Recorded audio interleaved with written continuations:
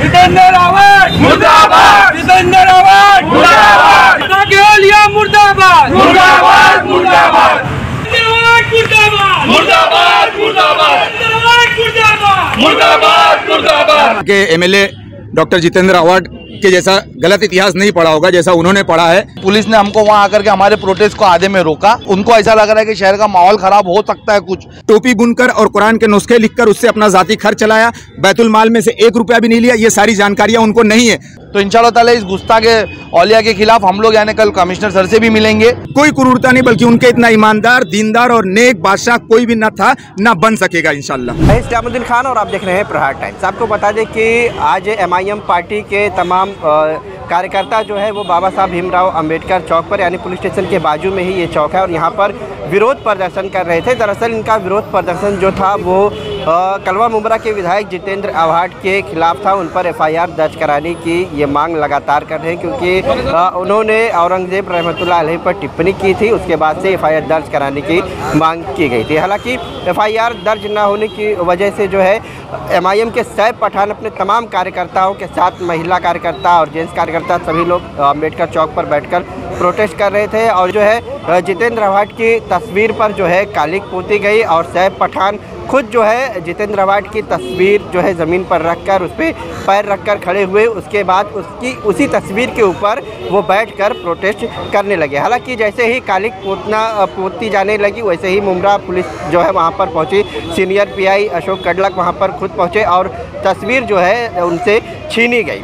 जो प्रोटेस्ट कर रहे थे, जो लोग, उन सभी लोगों को मुमरा पुलिस स्टेशन लेकर आया गया और ऐसी जानकारी एम के कार्यकर्ताओं ने दी है कि बहरहाल उनसे कहा गया है कि आप जो है, वरिष्ठ अधिकारी जो पुलिस के हैं, उनसे मुलाकात करिए। अगर वहाँ से उन्हें निर्देश मिलता है तो वो एफ़ दर्ज करेंगे, लेकिन किसी भी तरह का कोई नोटिस वगैरह जो है एमआईएम कार्यकर्ताओं को नहीं दी गई है। ऐसी जानकारी एमआईएम पार्टी के कार्यकर्ता दिए हैं। आपको बता दें कि एमआईएम के जो कार्यकर्ता है, सैफ पठान है और जावेद सिद्दीकी हैं और अन्य आम आदमी पार्टी के लोग भी इसमें शामिल हुए थे। इन लोगों ने इस प्रोटेस्ट के बाद क्या कुछ कहा है? मीडिया से बातचीत करते हुए आपको सुनाते हैं दरअसल एफआईआर दर्ज कराने की जो मांग है उसको लेकर आप लोगों का ये विरोध प्रदर्शन जो हुआ क्या परमिशन था इसका? नहीं था।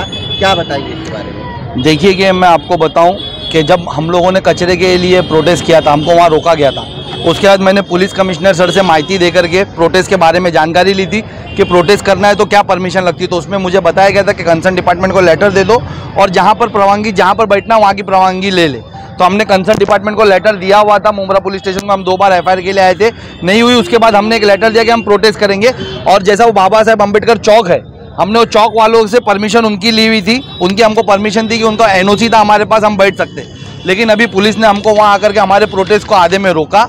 और हमको अंदर लेके आकर के उन्होंने कुछ बातें बताई है जिससे उन्होंने उनको ऐसा लग रहा है कि शहर का माहौल खराब हो सकता है कुछ। इस वजह से उन्होंने हमसे रिक्वेस्ट की है कि आप प्रोटेस्ट को अभी रोक दो, आप कमिश्नर सर के पास जाकर के अपनी बात करो, अगर वहाँ से हमको डायरेक्शन आ गया तो हम एफ़ ले लेंगे। तो इंशाल्लाह ताला इस गुस्ता के औलिया के खिलाफ हम लोग यानी कल कमिश्नर सर से भी मिलेंगे।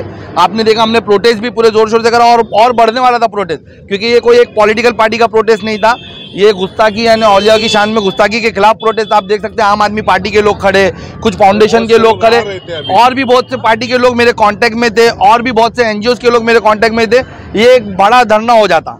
उसको पहले ही रोक दिया गया। ताला हम इसके खिलाफ एफआईआर करवाएँगे हम जाएँगे कल कमिश्नर सर से मिलेंगे और एफआईआर करवाएँगे।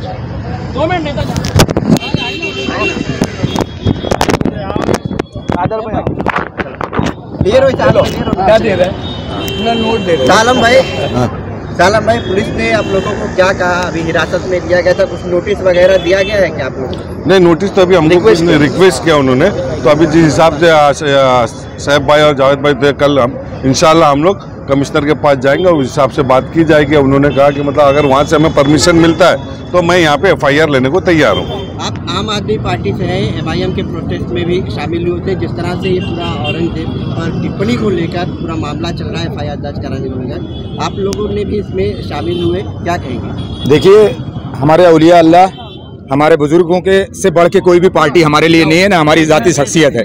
तो इस वक्त कोई भी मुमरा का जो भी जो सचमुच इतिहास पढ़ा होगा यहाँ के एमएलए डॉक्टर जितेंद्र अवार्ड के जैसा गलत इतिहास नहीं पढ़ा होगा जैसा उन्होंने पढ़ा है जिसमें उन्होंने अपशब्द कह डाला पता नहीं कौन सी पढ़ाई किया आज मुझे शक हो रहा है कि उनकी डिग्री भी है पीएचडी की पाँच हज़ार फर्जी है क्योंकि उन्होंने कहा है कि यहाँ उन्होंने हिस्ट्री से पीएचडी किया है और ये बिल्कुल गलत चीज़ है। मैंने अभी तक जितनी किताबें पढ़ी है और जो भी जानकारी हासिल की है कि औरंगज़ेब रहमतुल्लाह अलैह के जैसा कोई शासक नहीं था उनके इतनी ट्रांसपेरेंसी किसी की हुकू- दौरे हुकूमत में नहीं थी उनके इतना बड़ा हिंदुस्तान का रकबा कभी नहीं था। जो अखंड भारत का सपना आज भी लोग देख रहे हैं वो अखंड भारत वो बना चुके हैं। इकोनॉमी जीडीपी किस रेट पर थी उस वक्त उतनी कभी ना हुई ना हो सकेगी।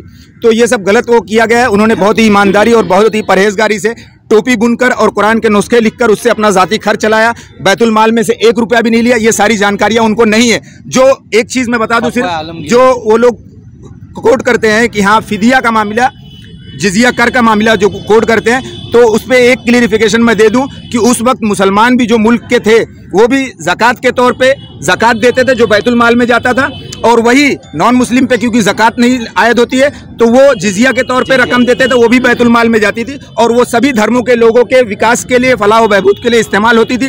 वो किसी पे कोई जबरन नहीं था लोग खुशी से देते थे कि ये बैतुल माल में जाता है और बैतुल माल देश के विकास के लिए अखंड भारत बनाने के लिए देश के हित में लड़ने के लिए इस्तेमाल होता है और वही हुआ था। तो ये उन्होंने बिल्कुल गलत हिस्ट्री वो किया उन्होंने किसी प्रकार की कोई क्रूरता नहीं बल्कि उनके इतना ईमानदार दीनदार और नेक बादशाह कोई भी ना था ना बन सकेगा इंशाल्लाह।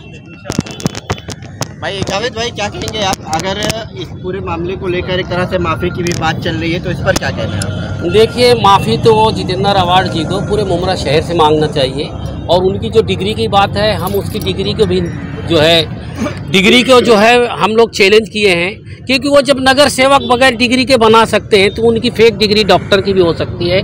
और हमारे शहर पठान और शाह आलम भाई और हमारे जो आप पार्टी के जो है, उन्होंने जो गुस्ताखी किए है हमारे मुस्लिम समाज के गुरु के ऊपर तो उसके लिए उन्होंने सब तफसील से बता दिया है। इनशाला हमारा यही एक काम है कि उनके ऊपर एफ़ होना चाहिए। उसका एक ही रीज़न है कि कमिश्नर के पास जाएँगे इनशाला और अगर कमिश्नर भी नहीं उस पर सुनाई करेंगे तो हम कोर्ट में जाएँगे और ज़रूर करेंगे।